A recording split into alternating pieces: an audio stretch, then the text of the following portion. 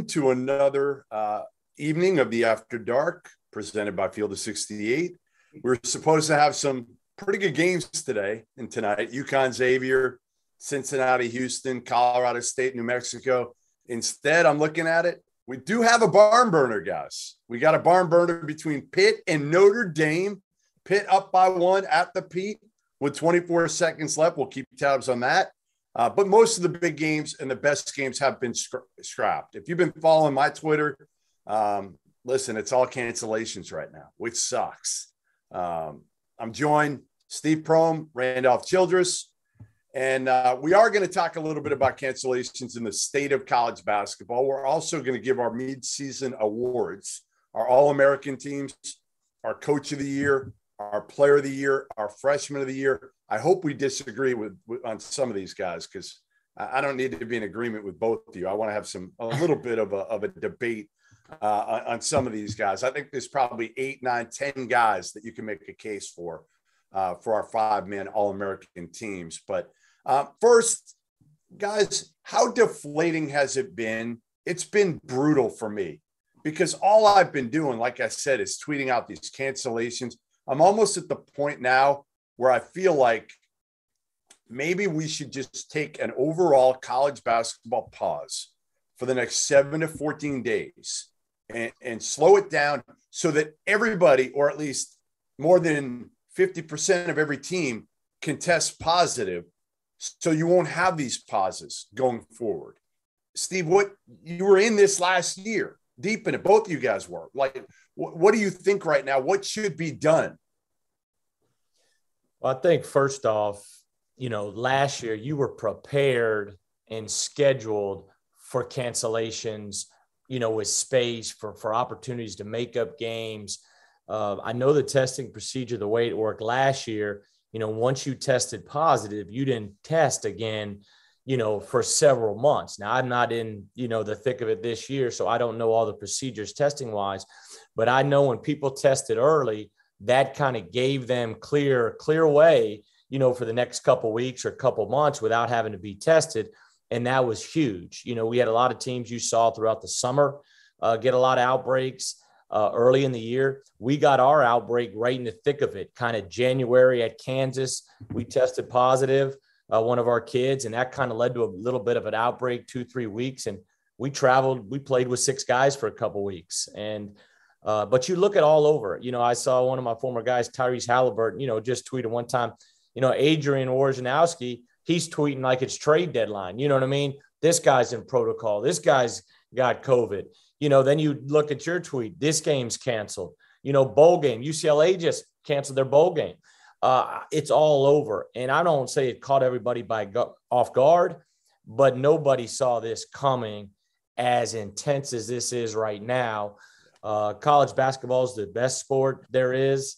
You know, it's you know it's what I love. It's my passion. And so hopefully we were able to continue to go forward healthy and, and play this season out.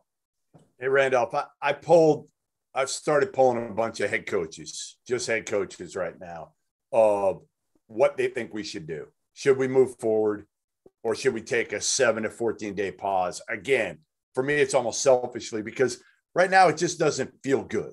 The sport just feels like a shit show to me. You're, you're trying to go through it. Mark Emmert's nowhere to be found. I joke that I saw him on on the beach in San Juan the other day, sun tanning, you know, bathing and, and drinking margaritas. But he may as well have been because he's nowhere to be found right now. He's AWOL and nobody's surprised by it. Two thirds of the coaches that I pulled so far, and I pulled over 50 so far, they say keep going, keep going, don't pause, uh, and, and kind of fight through this. What do you say? Well, the problem you have if you pause and then right is if you pause, as soon as you start back up, it's going to continue again, and so I don't think it's going to it's going to save anything. And back to what we were talking about before, Steve was saying, last year it was pre-vaccination, and it was before we knew much about it. So now I'm curious as to what what does it mean now when you're vaccinated. But some of it is, you know, like like I'll go back to a year ago with us with us, and for myself in particular. When I got it, some people get it and it's they're fine, right? Well, I was I vomited for a week. Um, I couldn't eat or drink for a week. I had a Yeah. Oh yeah. I had uh, fevered, all the symptoms. I lost taste and smell for the rest of the season. I didn't get my taste and smell back until April. Uh, oh. The unfortunate part was I, I gave it to my wife and my daughter, and I nearly killed my wife. Like my wife had pneumonia. Sick. Yeah, there were no beds. Uh, put my wife in the hospital. Took my wife to the hospital. There were no beds for her. They sent her home. I actually went to a hotel when I got diagnosed. And so, uh, without boring you guys with all the details, but the, those are the things that are happening. And I think those are the things that everyone's scared of if something happens to a player.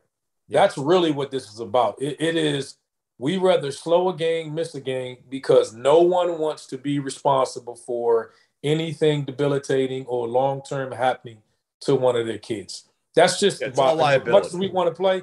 It's right. just about liability right now. Nobody wants to accept responsibility. There's not one university that's going to do it.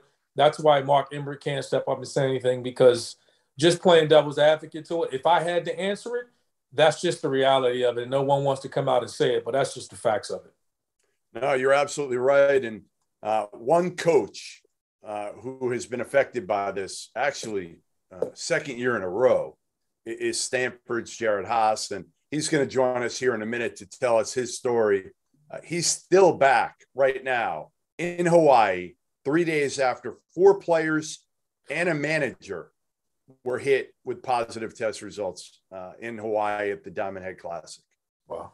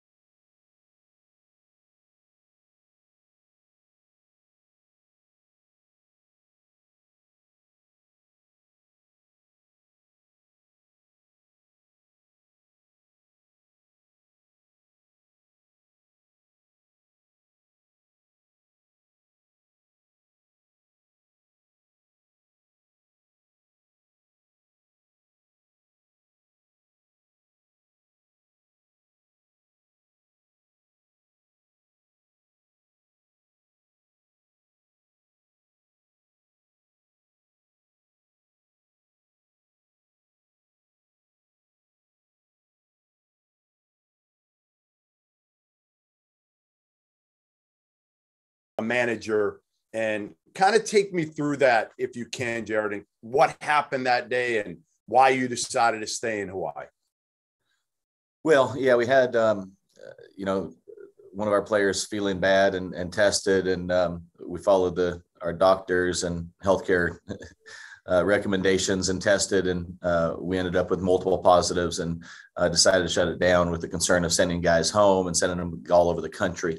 Um, at that point, what we did is um, there, you know, those those everybody that tested positive uh, needed to stay here. They weren't allowed uh, working with healthcare officials here and our doctors and everything else. So uh, the game was canceled, and um, there wasn't really a decision to make. Those guys needed to stay.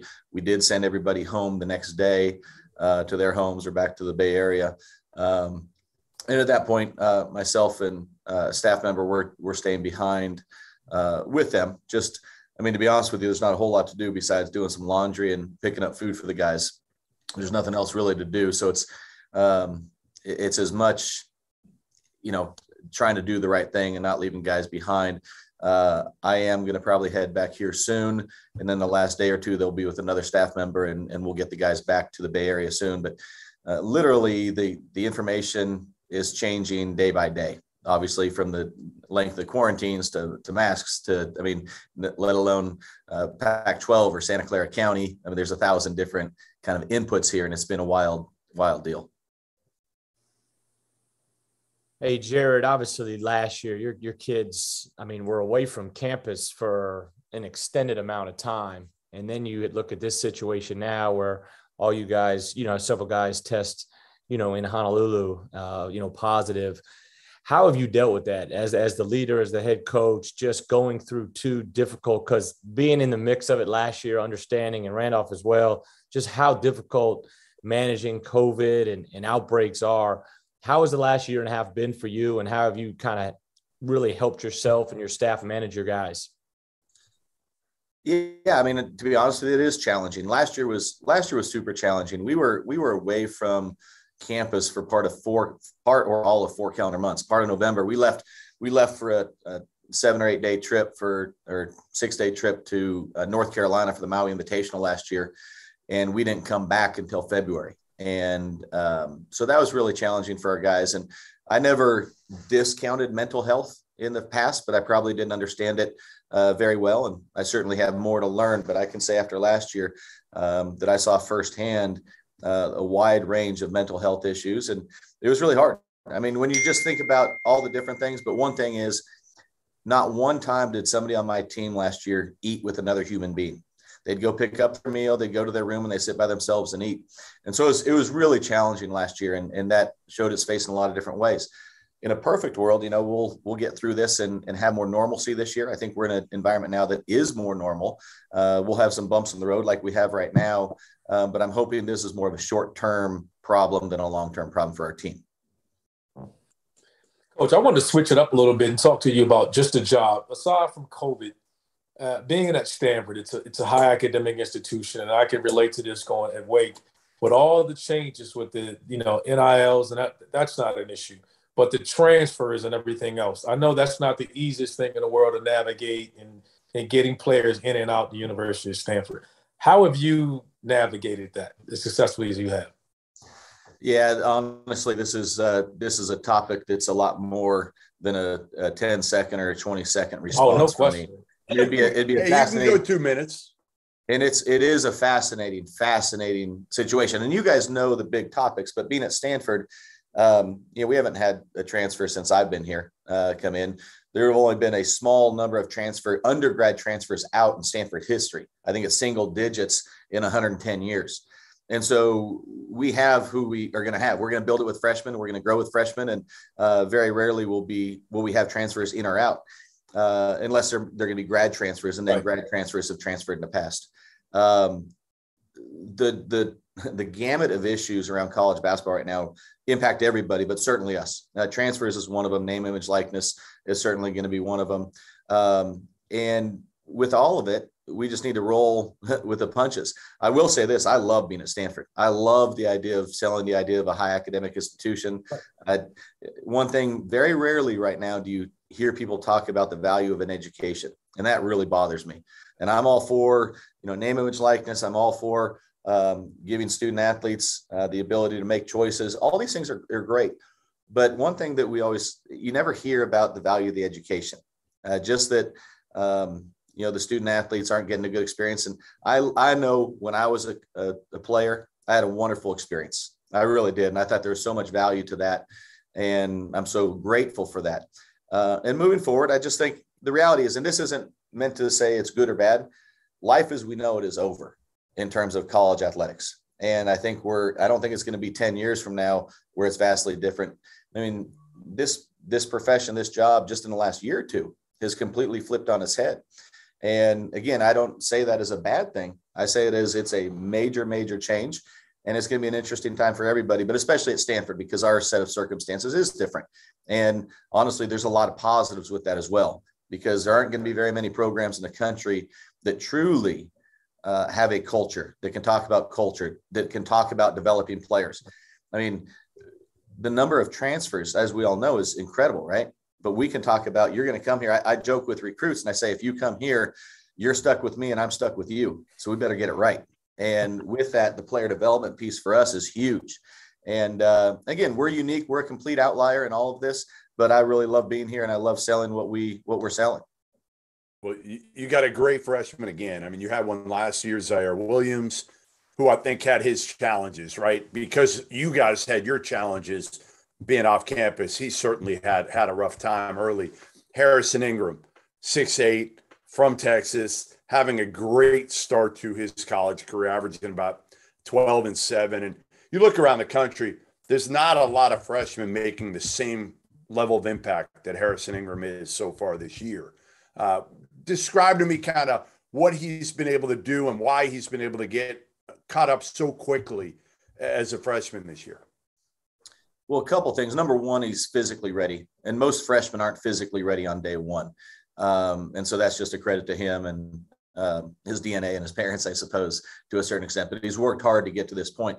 The other thing is he's just a winner, and he's he's um, uh, he has a great feel for the game and great understanding of the game, and, and the game comes easy to him in some ways. He it's the game is slow for him, and I say that in a positive way yeah. that he can see things that most freshmen you know can't see. I mean, if you look at all the McDonald's All America McDonald's All Americans in the country, you know, very few are really having a huge impact. And I had a coach tell me recently um, that his recommendation to a top, uh, you know, 20 to 70 type kid is you should go to a mid major if you want to play right away and then transfer to a high major at that point.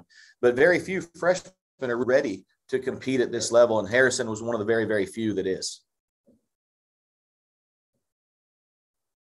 Hey, Jerod, the Cal game coming up. Any word kind of where you sit with that game? I know you said you may be leaving here in the next day or two. Today's the 28th. I believe you play uh, this weekend, some point second. Um, any news right now on the Cal game uh, or where you guys sit with that game going forward? Uh, nothing definitive yet. I'm hoping we can get um, solutions that soon. We have had uh, more positive tests within the program, and guys are kind of all over the country. Um, you know, as you can imagine, not only do you have NCAA rules, uh, Pac 12 rules, national rules in terms of quarantines, um, but we're also going to have Stanford rules and Santa Clara County rules. And so um, not everybody's in line yet in terms of the length of quarantines. And so there's a lot more questions than answers right now. Uh, but I hope for everybody's sake, we can, uh, you know, get a resolution and decision um, just so that, again, peace of mind for everybody. And, um, but I don't know definitively uh, with that game right now. Coach, we got a mutual friend, and you got to give me a story on him, Steve Woodberry. I know you guys go way back. You got to give me a story in the locker room. How was Steve in the locker room and the teammate? Steve's matured over the years. He was he was uh, so he was a senior uh, my redshirt year when I transferred from Cal, and Steve and I are close to this day. But uh, uh, I mean, he was so tough on the young guys, and he was always nice to me. And I don't know why, but he was always nice to me but um, you know he was he he's, he didn't mess around a whole lot and he he let the young guys know whose locker room it was and who was in charge but um, you know this is a, a, public show so i'm not going to be able to give you too many specific um, good uh, stories there but uh, he's fantastic and, uh, and and been really uh, yeah really successful in everything he's done he speaks very highly of you so jerod how, how long did your family come with you to hawaii or was it a few day trip and you said, Hey, I'll be home. Uh, you know, we're, we're taking a red eye or whatever. I'll be home the day after Christmas. Yeah. So no, they came with me, which was really cool. Um, had a great trip with them. Um, we left all the Christmas presents at, um, at home. And so the kids were excited to get back. And so they left on the 26th, first thing on the 26th. And uh, I'll be honest with you right now, it's uh, they keep asking when I'm going to be home because all the presents are still there and they're waiting for me. So so I have good kids and a good wife that are uh, are, are, making the the presents wait till I get there. Because I told them, look, if you guys really need to do it, I'll I'll get on Zoom and we can do it that way. Um, but I have really good kids and they're they're they're chomping at the bit to open those presents. Do you do you think your players? I tweeted this earlier because I heard it from a program that, you know, the, the new CDC guidelines are uh, five days now in, in, isolation, and you can come out and six to ten you have to wear a mask. I tweeted out, and people I think thought I was either crazy or just the, the blowback. I said, You're going to see some players potentially wearing masks playing in games here because they want to get back quickly. But again, on day six, seven, eight, nine, um, you're supposed to wear a mask per the CDC guidelines. Have you heard anything about that with you guys not, when you come back? Not heard anything. A great conversation. I think uh, the reality is my kids in, in our county, um, you know, freshmen in high school and sixth graders playing AU and everything. And they've been, you know, for this last year, once they got on the court, they have been wearing masks on the court. And I think, um, I think there's probably a certain level of how serious is the county. You know, how much will the pushback back be if you don't wear masks? Um, but I agree with you. I think that's very real and, and a real possibility. And I think it's the kind of thing in certain situations that people uh, try and bend the rules or apply rules differently. There, there could be some pushback and some consequences to that. Yeah, no, I, I think there's going to be. I mean, again, I, I, asked both these guys, and I think um, you guys are in agreement. Stephen Randolph push forward with this and don't pause college basketball right now. The, the only reason why I think it might be the way to go is because right now it, it looks like a little bit of a circus with so many games being canceled. And I think if you shut it down for 10 days per se, let's say you shut it down for 10 days, I think you would have a lot of teams in those 10 days. You already have a bunch that have had seven, eight guys get COVID and, and without symptoms necessarily. And then you'd be able to move on and so many teams would have at least seven players available for the rest of the year. And you could these two games you're going to miss which hopefully it's only like two three games you could make up a couple of them along the way. You might miss a game or two in conference play but for the most part it could be smooth sailing after the next 10 14 days for most teams yeah, I mean it's a sound argument, and obviously there's a there's a counter argument to it in the whole bit, but it's it, it is a sound argument, and uh, you know, and the testing piece is interesting too because not everybody's testing aggressively and consistently, and so if you if in that situation, my guess is everybody say, well, let's test everybody right now, and let's get everybody into this this shutdown, and then we can move on, and so that would encourage testing in that scenario. Yeah, there were about forty I polled yesterday about 125 schools, and about 42% only said they're they're testing their whole team coming back from Christmas break. And yeah. Steve, the whole Big 12, by the way, none of them are testing coming back from Christmas break. Just so you know, your your your Big 12, your your your Midwest is uh, uh, a little bit different than the rest. Well, no, you, you're also an Alabama guy, so you got the Midwest and you got Alabama and, and, and the SEC in the Northeast up here. It's so funny how different it is, though, geographically, because the Northeast is like probably 80% of those teams tested the entire team when they came back. And obviously, the Ivy League is like, you know, uh, 100%. Hey, Jerod, does the Pac 12, is there a couple of definitive rules with the COVID testing, uh, team, games, cancellations for? I know there, there's been a, th- a lot of ch- change with that over the last couple weeks, but does the Pac 12 have a couple uniform things with the testing procedures? Well, a variety of things in terms of uh, you know having after guys are through quarantine, you need to uh, have guys practice for a couple days uh, if you're below the seven. But seven players, one coach, and you're able to play. Um, I don't think there's uniform testing right now. I think that's more institution based. Um, and uh, there will be some variety there about how you do things. Obviously, uh, the normal CDC guidelines if your symptoms, and uh, I think everybody's testing in that scenario. But it's more the the games and how how the games are played, and you know the seven seven scholarship players, one coach. Then it's the green light to play. Coach, how did you handle the vaccination? Was it mandatory? Did you mandate it, or you, how did you man how did you manage the the vaccination part of, the, of your uh, your program? Yeah, great question. I would say encouraged and, and educated the guys um, certainly didn't mandate it. We are 100% vaccinated for everybody within our program. Um, but it wasn't, it was never a mandate from me. Now, having said that, the university um, has had some mandates and, and uh, even with boosters coming up. And so our guys would fall into that category uh, based on the university guidelines. All right. Well, listen, Jerod, we appreciate you coming on. Uh, good luck getting home. Good luck to your kids. Uh, yeah, open them gifts. Go open those And finally, Merry Christmas to you. yeah, Merry Christmas. Go celebrate Christmas. Merry Christmas. Happy holidays. Hopefully, you get on the court uh, soon. Hopefully, for your kids as well. Uh, you guys getting back in the court soon. Thanks for joining us. Thanks, Thanks for your time, guys. Appreciate it. You got it.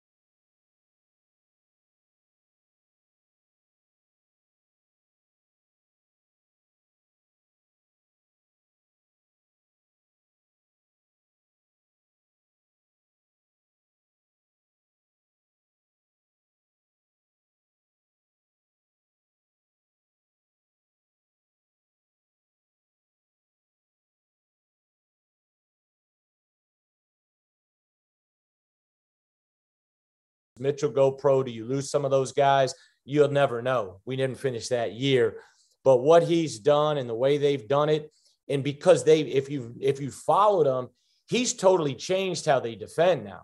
The zone is gone. I mean, you go on, yes, you go on to uh, Synergy and you chart their possessions. I mean, he doesn't play the one one three zone that when I first got to the Big Twelve, that's all everybody talked about. How are you going to go against Baylor zone? And then Scott will throw in a little triangle and two and kind of about that seven, eight minute mark of the second half when he needs to kind of steal some possessions. Um, the the reload this year and what they've been able to do and the teams they've beat, you know, those guys can play it all for midseason coach of the year this weekend. Uh, but credit to both of those guys on the job that they've done. How about Calvin? I mean, Kelvin Sampson as well. I mean, you're talking about yeah. 10 and 2 and yeah. you know, with a, a, a, close game losing Alabama, they were a, a, tip from being, you know, 11 and 1. So I think he'd be right there. I throw him in my top five as well. And they're they're in trouble going forward now. They oh, they, yeah, arguably yeah. their their they're best done. two offensive players in, in, in, Mark and Sasser. Yeah, but because of the if, way because of the way they compete though, and yeah. because of who Kelvin Sampson is, yes, they will never be an easy out. They will not be an easy the out. The toughness though. not going anywhere. Yeah, the they ain't going to that. If but I might pick him to win the league. You know, he may throw Quannas White and Hollis Price out there. I mean, they, I mean, you know, they are going yes. to compete still. Yes. And yes. so, I mean, this the, the the losses obviously are huge. Kelvin over the long haul has just done a phenomenal, phenomenal job, and what he's done there is remarkable. All right, I, am We'll go freshman of the year next. Freshman of the year. Uh, I'll start this one. I, I'm going. It's not easy. Okay, Paolo Banchero's had a hell of a year. I'm going Jabari Smith from Auburn over over Banchero. I just feel like he's made a huge impact on his team. He's out there every minute. Um, you know, Paolo's had his issues with cramping up and not playing full games. He's been terrific too, but uh, Jabari Smith to me is my freshman of the year. Yeah, I don't. I, I'll jump in there next, and I and I had two down, and I and I figured you guys would say, you know, uh, you know, Paolo, you know, uh, and so I had down, you know, Jabari Smith. I, I was actually in Murray yesterday and I bumped into uh, Matt McMahon and yep. they just played Auburn. And I said, man, how good is Auburn? And he said, man, they're good. He goes, let me tell you, Jabari Smith. And he went on for a little bit. And so then I went and kind of punched the numbers and looked and, you know, so I, I had Jabari Smith down as well. Let's make it a threesome. I had Jabari. I, I, I think he's the other guys. I mean, it was a three three man race all along. I mean, between Chet and Paolo and, and, and Jabari. I, I think the other two have better surrounding cast of players around him that they can rely on a bit. I think he is. I, knew he was good. I didn't know he was this good. I mean, he's scoring it on all three levels, shooting it over 40, nearly 45 from three. I mean, he has been, he's been, I think he's been the top freshman. Yeah. All right. we will do our All American teams next and then pick our player of the year. Add a little bit of intrigue here.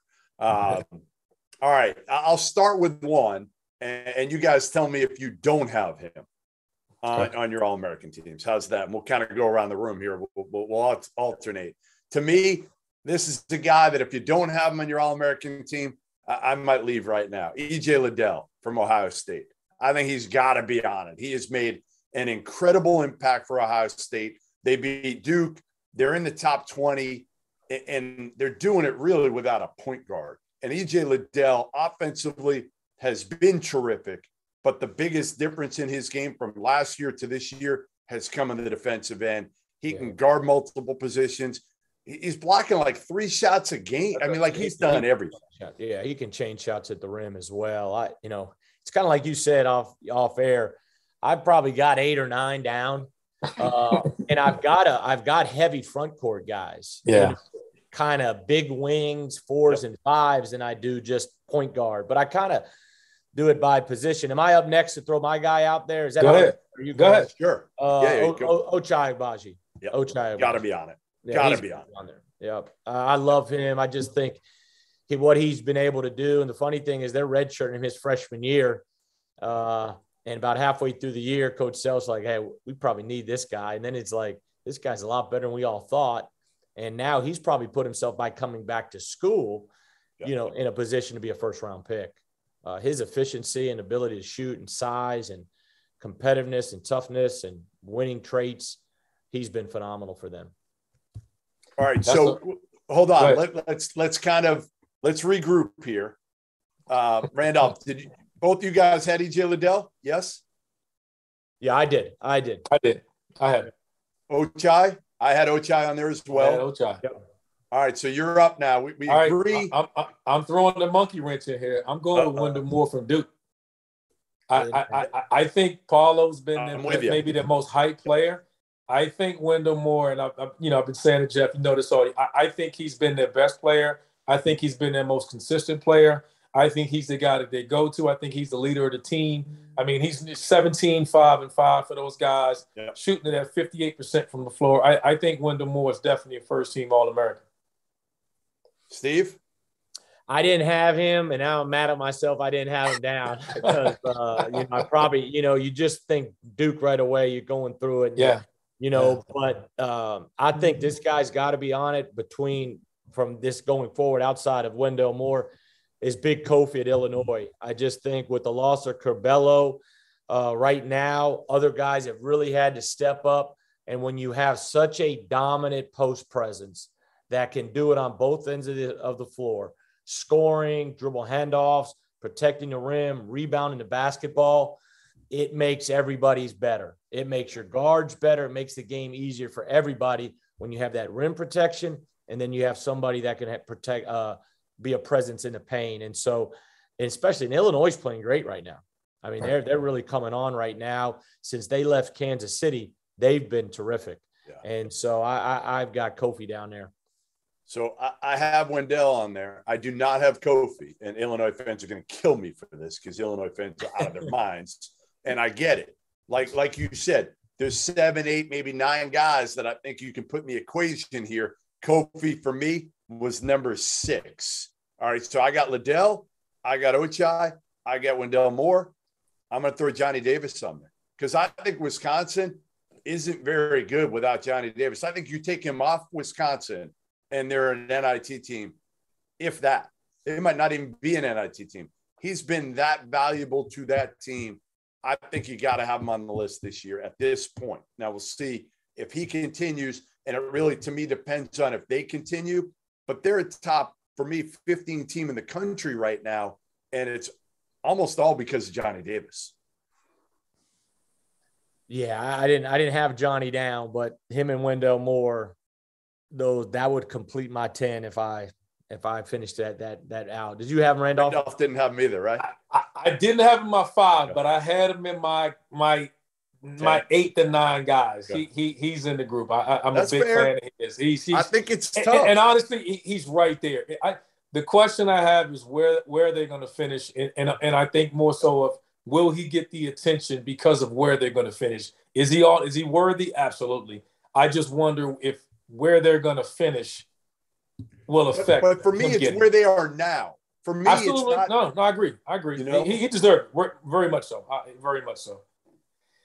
All right. I, so who who do we have on that, that we haven't mentioned so far, Randolph? Who do you got? I still got a couple of more guys. I, I I'm gonna.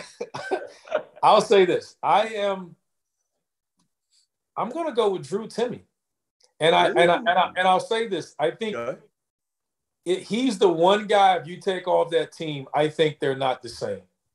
I think with Chet, they're just he just adds the extra dimension to them that puts them over the top. But I just think Drew has been solid enough that that if you take him off that team, he's still averaging over 17 a game, six rebounds a game. I, I, I think he is he's shown up in the big games that they had so far this year. I mean, it's tougher sometimes. Teams are doubling those guys inside, and the guards are going to get off against lesser opponents. But when it's mattered, he's been there, and they're not at the, a, a national championship Final Four caliber team without him. Yeah, I, I, would agree with that. I mean, I think he's in your top 10. To me, right. he's in the back half of it at right. this point. Um, but but he he's there. Uh, all right, who else? Again, mine is EJ Ochai, Wendell Moore, Johnny Davis, Jabari Smith. Yeah. That's my five. Six for me was Kofi. Seven for me, Oscar Tshiebwe. Yeah, I had Oscar in my top top eight right here. You know, Moore and Johnny Davis, I'd throw them in there as a top 10 in my group now that you guys threw them out there. I kind of did it by, you know, hey, point guard, get wings, guard wings, and then good luck finding so, a point guard. Good well, luck. I just exactly that was the toughest spot yeah. to find. Yep. But if you're number one in the country and Rob Dauster, if he's watching, which which I'm sure he is, yes. James, James Akinjo yep. should be there. I mean, yeah. he's the point guard of the best team in the country right now yep. today, and his numbers are terrific. It's not 20 points or you know, it's it's double figure scoring, good assist to turnover ratio, and his team wins, and he is fit in, and he has done what Scott Drew and that staff wants him to do. And so my, my group was Akinjo, Ivey, Agbaji, Liddell, and Kofi. And then I had Timme, Jabari, Oscar kind of floating around there, six, seven, eight. I got to throw this out there because I'm the only one that seems like to have this in this list. We all we all got the same group. The only name that I added or, or group that I had it, I had it split. I think that's why James didn't get it because Baylor. I think it split. You split the votes when you start looking at their team with CJ, all those guys. Was Purdue looking at Williams and Ivey? Like if you look at what those what guys do. Yeah. Say again. I don't know what to do. I don't know what to do with it. That's what I'm saying. I, I, I didn't know how to kind of vote. I, I literally put them as like one person. It's like I want to combine them. it's, it's like I want to combine them and say they're one, and they'll cost each other votes to get the award because they're invaluable to the team. And but at the at the rate they're going, and I they are legitimate Final Four national championship team. And I, I, think those two guys are right there. And, and Williams coming off the bench, his unselfishness to come off the bench. And but when it matters, he's there. He's going to play. If you were to prorate his numbers over 40 minutes, my goodness, he he would be player of the year. Yeah. Uh, uh, and Jaden Ivey has been. I mean, I, I just think they're like one. They they're going to split votes. They're, I put them in as one, but it's two, two play. Those are the only other ones we hadn't mentioned yet. Everyone else we mentioned, but that would be the only group or tandem I'd put in. Yeah, there's a terrific group of those, you know, skill forwards, big forwards, you know, small ball fives, back five man, whatever you want to call it. It's but you know, we're not talking about a ton of guards right here. We're talking about big wings and we're talking about forwards and slash, you know, centers, you know, Oscar Tshiebwe and guys like that. And this is why, guys, I feel like the point guard position is going to mean more this year than ever. Yes. Because there aren't a lot of great ones. No a lot of teams have really questionable point guard situations. And listen, people get tired of probably hearing me talk about on every show. I say it like I'm starting with a point guard. And if you don't have a really good one, you can't win six straight games. You can't win it. And I'm not even sure you can get there. Now, this year might be a little bit different because it's hard to find really good point guards on a lot of teams right now. I think you're going to see some guys emerge in conference play and really kind of separate themselves or elevate themselves from something that we weren't sure they they, they like Wendell Moore has been a really good point guard yes. for Duke. We didn't yes. think we'd say that, right? I thought it was going to be Jeremy Roach that everything was going to be dependent on. And it's not because Moore has stepped forward and kind of taken that role. And that's why I think Duke has a chance to now win it all. I, yes. Paolo, I knew was Paolo. We weren't worried about him we were worried about Jeremy Roach in the point guard play, and that is no longer an issue because Wendell Moore has stepped forward. Yeah, I, I think point guard play is is critical, but I think point guard play sometimes people you know misconstrue it as I'm the guy who's dribbling the ball up the floor sometimes and calling two two two.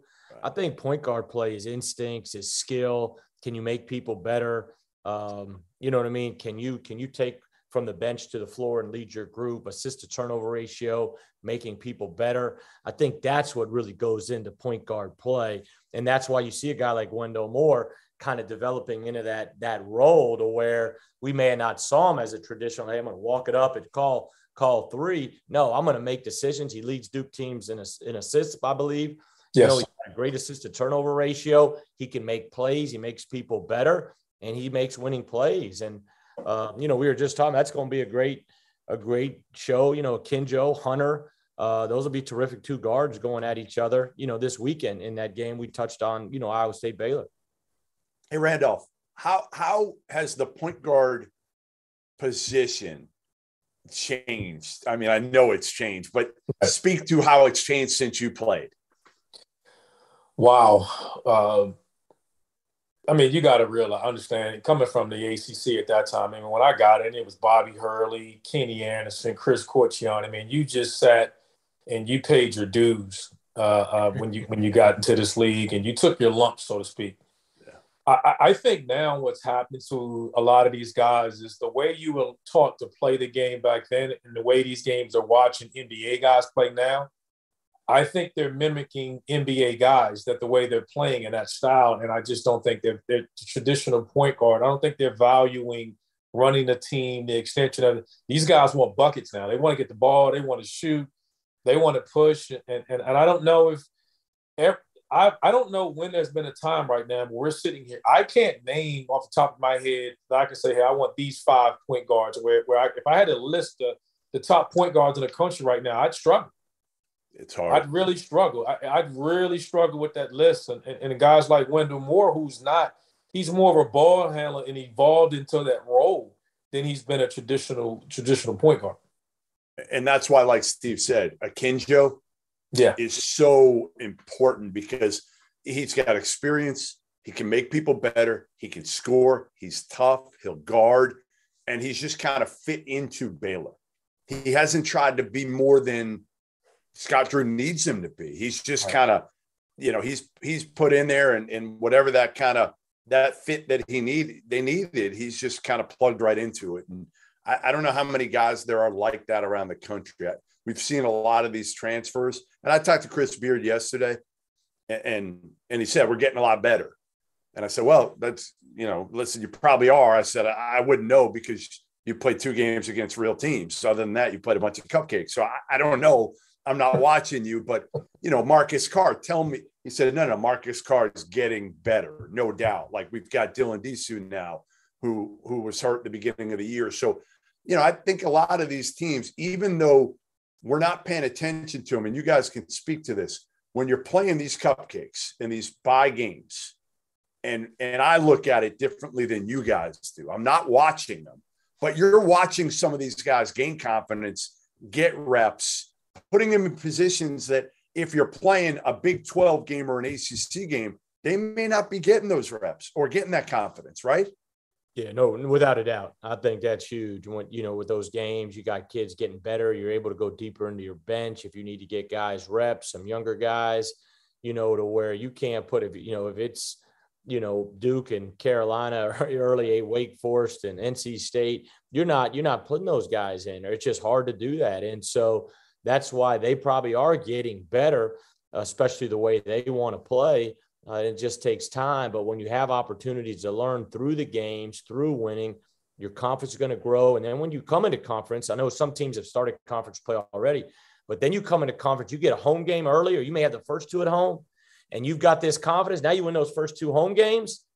Now you're ready to go on the road and play a legit team because you're confident. You got a swagger about yourself. I wonder about how much COVID is is going to play a factor in that as well, because you're talking about guys missing a week or missing two weeks. I mean, with any sense, we don't know how much time these guys are going to miss, and then we're missing these games. So now we can't. It's like anything else; you can't simulate the game. So now, with all these cancellations and postponements, so now it's going weeks without playing. You coming off Christmas break. Uh, uh, you know, I, I wonder how much of this that will affect some of these guys playing because now you you're missing games, times that you had to come out and play to, and practice. To get, you know, get get to practice, to get accustomed conditioning. All those things matter in the sense of getting over the hump for some of a lot of these transfers, a lot of this movement that we've seen. I, you know, I wonder how much everything that they're going through is hindering that right now. Yeah, the good thing is that hopefully now with the, the CDC changing it to, to five days, right? Guys won't be out as long. And while they're out, I think the biggest difference from a year ago, and you guys could speak to this, is you know, you had guys that couldn't do anything, right? Like certain teams were literally locked in their rooms and couldn't right. leave. I don't know if either one of you were, were to that degree. But I was talking to kids that literally could not leave their room, couldn't, they're like, you know, I don't know, jumping rope in their room. And that's yeah. the best they could do. Now they're getting individual work. They mean that and the guys that are are not testing positive are able to go out. And even if there's five of them, they're able to do stuff on the court every day. They're not completely out of shape. And the ones who did test positive, let's face it, a lot of them don't really have the symptoms that they might have had a year ago. Will they eliminate the fans before they stop playing the games to do, you know, what, what, what will they do to try to help it to get the season going? Because when you started, when you watch football, they pack those arenas. And now basketball season coming, you're packing your arenas again. So will you to, to salvage the season, so to speak, or to help alleviate some of the suspensions or postponements and cancellations? Will you cut down on your fans. And I, I doubt. I don't think they will. I don't think they will either. So that's why I say you're just going to kind of go through it now and just figure it out. Yeah, and I think you you talk about basketball that you, when you look at playing indoors, playing in small arenas, playing during the winter stretches, you're going, you're put, you're you're at, you're obviously going to be a little bit more risk, but I think they've got to push forward. I don't think you the the break. I don't know, like Randolph touched on earlier. It's just it's going to hit again two or three weeks later. So I don't know what the the break will will do. Uh, but the, the, the cancellations were just, you know, like the UCLA football game tonight. I mean, you find out 45 minutes, you know, uh, about that. That's that's unbelievable. And these games are dropping like crazy right now. And so, you know, hopefully everybody can, you know, like you said, if it's getting tested, you're positive, you go through that two weeks, and now we kind of we kind of slow down with all the negative, you know, with all the postponements. I wonder too, guys, and I've talked to a lot of coaches over the last couple days, and you know, so many of them are like skeptical of some of these other teams and coaches, right? Like, well, do they really not have seven guys right now, or are they playing this game that they don't, right? That they, just don't want to play. They're losing maybe their top two start, you know, two of their three starters or something, you know. I believe it's the same thing that's happening in football. I, I'll say this: I don't believe all these teams have COVID. I think some of them have losing players to transfers They've been playing all year with a starting quarterback. That starting quarterback decides to leave. You're like, wait a minute. I think it's the same thing that's happening in basketball. If my two best players, I would rather have the game canceled or postponed than to play a game without my best players knowing that I have a, a heck of a chance and I'm going to lose the game. That's really what's happening. As much as we want to say about the COVID, it's that if the if my best players are not playing, or I don't, you know, then then I'm not playing the game. Uh, there's no way it's going to be old if you got seven and I got my sixth through eighth guy and three walk-ons and two walk-ons. and two walk-ons. I'm not playing. There's not a coach in the country that's going that's going to play. You're just going to cancel the game. And I think that's what's happening, right, wrong, or indifferent. You're just not going to find a coach that's going to be willing to go out there and say, like Steve, like you said last year, you played with six players. Notre Dame does it because they do it anyway. Other than that, no one else is no one else is doing that they're like, you know what, the heck with that. If I got to play with six guys, I'm probably going to lose. I don't. I'm not going with a walk on off the bench. That's it. Well, I, I talked to a I talked to a high major coach a couple hours ago, and, and he told me he said, "Listen, if it comes down to it in league play, and I got three starters out, no way, I'm, I'm forfeiting. He, they can do whatever they want to me. The, the conference can do whatever the heck they want, but you know what the NCAA is not going to do? they're not going to penalize me for a forfeit. I can still get into the NCAA tournament. It might hurt me in the league. And what's the pen? What have, what have these leagues said? They haven't come out with anything. Is there a financial penalty? Are they going to fine us a million dollars? Who knows? Jeff, how many coaches are on the fence with their jobs? So why play a game and get the L on their record? Like, like, like that's the other part of it. Like, why, why play the game? T- that L is going to count. That postponement, that cancellation doesn't count. So that's the other part of it. If I'm going into this year with, with, with a lot of pressure in a heat to win games, I'm not taking any chances. And that's just the nature of the business.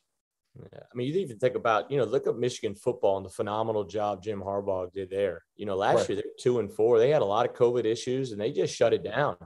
And a year later, you know, he brings a terrific team back and he has a, you know, and they have a phenomenal year, you know what I mean? But all the you know what I mean? All the the negativity kind of goes away and you know they get focused and you know but battling through the covid and all the different things is it is a tough tough deal when you start having all those different issues what what's your guys uh, another poll I'm doing with coaches while I'm polling them on on whether or not they think we should battle through is what is from from one to ten, what is your confidence level on NCAA president Mark Emmert? Mine is a zero. Mine's a zero. Up from one to ten, I got zero. What do you guys got? Let's see. oh boy, Jeff, this is a tough one. Um, you know, he's got he's got to, you know, I think the biggest thing is if they can get a unified plan from a standpoint of this is how it is, you know, and this is get say give them a seven. So if you need a number, but we need a unified plan from conference to conference so everybody knows what yes. we're dealing with, and that would help a lot. Yeah, yeah, I agree. I mean, listen, the bottom line too is just make Dan Gavitt the commissioner of college. Don't just make him in charge of, of the tournaments and he's in charge of all the, the championships. Make him in charge of basketball and give him the autonomy because he knows a lot of people within the sport, whether it's coaches, and you guys know this, whether it's media people, and I can attest to that. Uh, he's well liked. He knows what he's doing. Obviously, he's got great bloodlines. Um, and, and I think he's a guy, if given the proper resources and support, he could make a difference. But again, I just don't think he's given that. I think he's given that within the NCAA tournament. And there are certain things, let's face it, that the NCAA can't do. They don't have jurisdiction on certain things. But, you know, like I said the other day, something as simple as the minimum amount of players. Like to me, it should be seven scholarship players. You should not be allowed to play without seven scholarship players. That should be the minimum. Well, why isn't that across all leagues? How difficult is that one? I get testing is different, like Jerod Haase was saying, county to county, school to school, conference yeah, to conference. There's a lot of things with that I understand. It's much more difficult, but for minimum players, come on, this should be a layup. That's the softball. That, that's the easy yes. one. This, there's a lot of things out there that everyone understands. I think that's where, you know, Emmert there's a disconnect with him and everyone else in understanding what's going on because the simple things that you can say or do are not, I just don't seem to be simple. It's a good old boy network, is what that is. And that's what keeps him employed. All the presidents of the schools, he was a school president. They all keep him employed, keep the paycheck coming, and we don't even see anything from him. And that that's that's my biggest, honestly, that's my biggest frustration is get front and center be be a leader try to have some leadership right now within the sport the sport right now is in shambles I, I, don't care what anybody says it's in shambles today i'm talking about right now in this season where nobody knows what's going on you, you again had 30 games today we are down at you know 10 or 12 whatever it was tomorrow there's a good slate we'll talk about this for the last couple minutes before we uh we sign off but you know, LSU Auburn tomorrow. I'm going to be at Seton Hall Providence. I can't wait. Two top 25 teams. I'm I'm just doing this, guys. As I drive in the in the morning, I'm gonna I'm gonna have I hopefully coffee with Kevin Willard in the morning tomorrow, and I'm just gonna do this the whole way there. Is like, please let there let there be a game. I mean, Tennessee, Alabama tomorrow night. We've already lost Duke, Clemson, Temple, Villanova. Those are two two good games that are gone. We're gonna lose ten more tomorrow. I'm telling you, we're to lose 10 more. But, you know, again, I guess what you guys are saying is just push on and hope we get through it and hope it gets better in the next couple weeks. They just want to get enough games played, it, like it was a year ago. You'll pick a tournament team, and that's all. The, that's all they're worried about. Yeah, that's, that's all really they care all about. about. All they're worried about is getting to the tournament, making this money. Whatever 68 teams make it, they make it. You can talk about it. We can talk to the cows come home about who gets in, who doesn't, strength of schedule, what are we're going to do with the cancellations, the postponements. Because the problem is, as we talk about all these cancellations and postponements, when are you going to make them up? Because when the season conference comes around, you're playing every Saturday and or Sunday, every Tuesday and or Wednesday. Like, like when are you going to make this up? Are you going to start having games four days a week? Like, you're not going to be able to do it.